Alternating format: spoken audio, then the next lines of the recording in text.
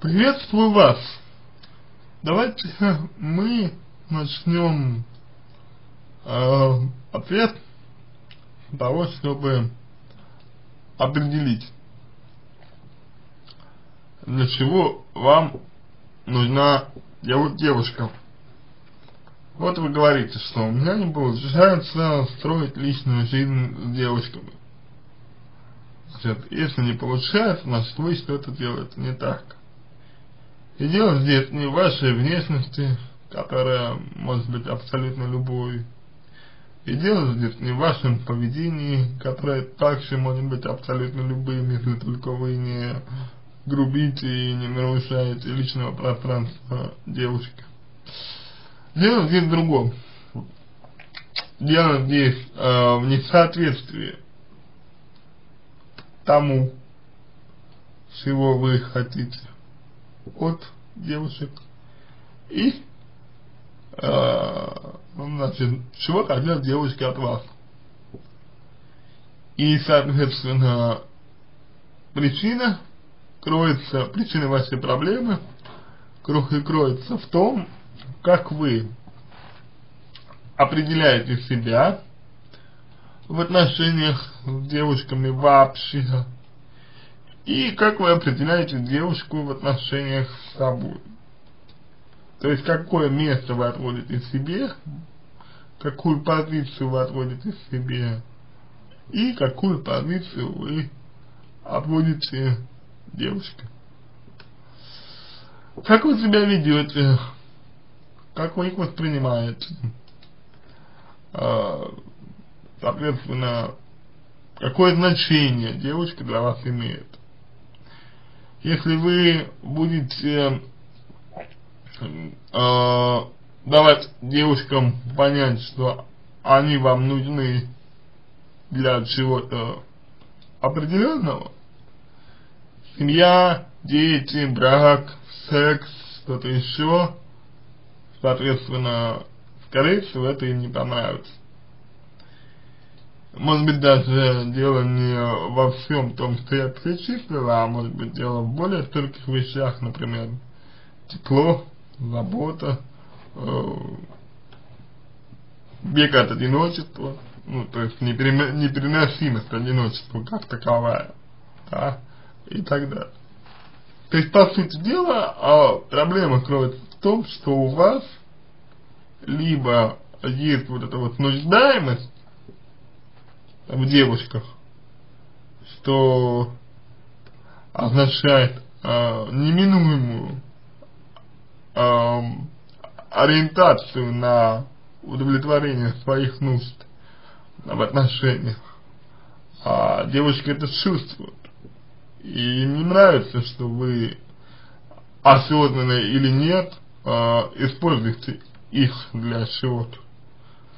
А в отношениях э, с любыми людьми, не только с девушками, и не только в личной жизни, а нужно подходить, будучи независимым. И будучи не нуждающимся, но будучи равноправным, равным партнером. То есть равноправный, это значит, э, не больше, не меньше у вас прав и обязанностей по отношению к девушке, а равный, это значит человек, который позиционирует себя не хуже и не лучше, чем она. Чем, чем девушка, ну, в данном случае. И, соответственно, вы, скорее всего, позиционируете себя как-то иначе, как-то по-другому, и отсюда соответственно, все проблемы. Далее. Э, причина может быть э, и в вашем негативном опыте просто. То есть, когда-то в прошлом какая-то девушка, например, вас или обидела, или предала, или вы что-то не поняли, э, из-за чего расстались и теперь вами движет страх. Так что, собственно говоря, это произойдет вновь.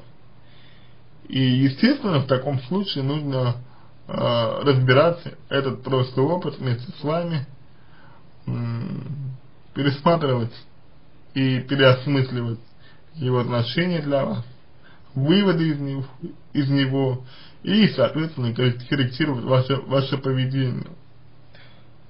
Может быть проблема связана и с тем, а, как у вас сформировались первичные образы мужского и женского еще в детстве, еще при взаимоотношении с родителями. Причем не столько даже при взаимоотношении с ними, сколько при формировании только отношений с ними. Соответственно, что-то вы могли перенять от отца, что-то вы могли перенять от матери, и это не всегда бывает положительным и продуктивным. Поэтому это тоже нужно разбирать. Ну и наконец, а, последнее, о чем я хотел бы сказать, это, по сути дела, статистика.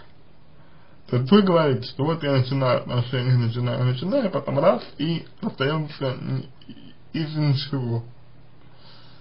Соответственно, нужно детально разбирать все случаи, чтобы выявить какую-то общую закономерность в этом. И тогда будет понятно, э, что с вами не так, в какую сторону двигаться, в каком направлении работать и так далее, так далее, так далее. Если вы готовы действительно менять свою жизнь, то вам нужно выбрать эксперта на нашем ресурсе и э, начать с ним работу. Потому что вот так вот э, в рамках ответа на ваш вопрос э, помочь вам, реально помочь, э, возможности нет. Надеюсь, вы это понимаете. На этом все. Надеюсь, что помог вам. Если какие-то вопросы у вас остались, буду рад помочь. Пишите в личку. А если вам понравился мой ответ, буду благодарен, если сделаете его лучшим. Желаю вам всего самого доброго и удачи.